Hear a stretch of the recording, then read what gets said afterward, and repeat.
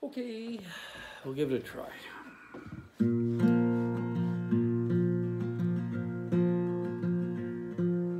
Raven is a wicked bird, his wings are black as sin.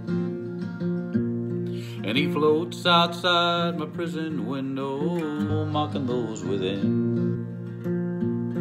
And he sings to me real low,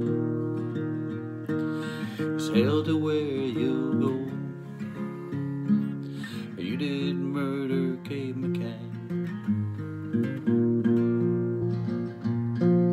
When I first met Tom McCannon I was working in the mine. He said he had a dark-haired daughter, long green eyes. She and I did meet. She was bathing in the creek. Prettiest girl in the whole damn holler, that ain't no lie. So I went courting Kate McCannon.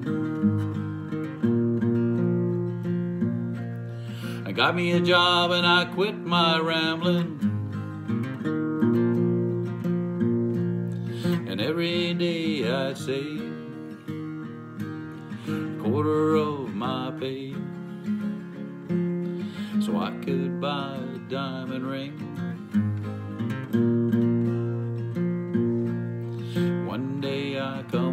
To find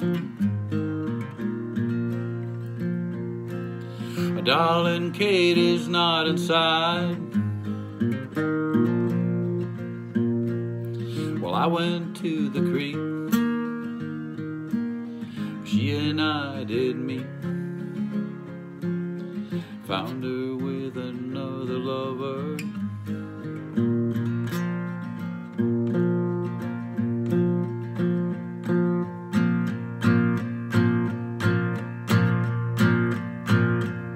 So I put three rounds into Kate McCannon.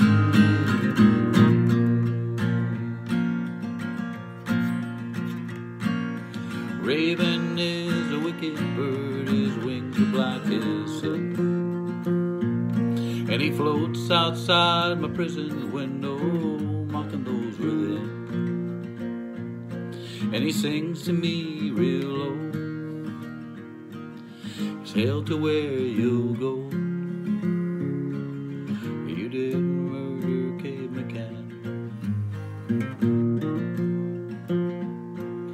You did murder Kate McCannon. You did murder Kate McCannon.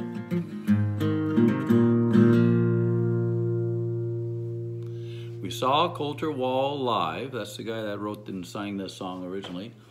In Athens, Ontario, there was uh, we were in the front row. Nancy got great tickets. She's the one that actually discovered Colter Wall, and you guys should too. Anyway, we were in the front row. There was Nancy, there was myself, there was John, and there was Danny B. Anyway, we didn't know what Colter Wall looked like. We just knew how he sounded. Anyway, he comes walking by Nancy and kicks her foot. This little guy, this little guy about mid twenties, and he gets up on the stage and it's Colter Wall.